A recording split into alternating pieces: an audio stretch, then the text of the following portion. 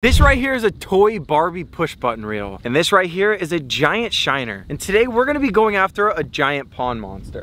I'm gonna cast it right out there, let it go down to the bottom and see what we got. I'm on. It's definitely on. He's going. You ready?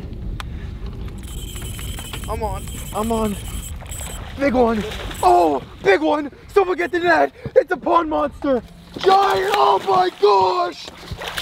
Let's go! Oh my goodness, bro. Guys, check that one out. That's a tank. All right, guys, so when you catch a fish bigger than the rod, I think it's a certified Mogan.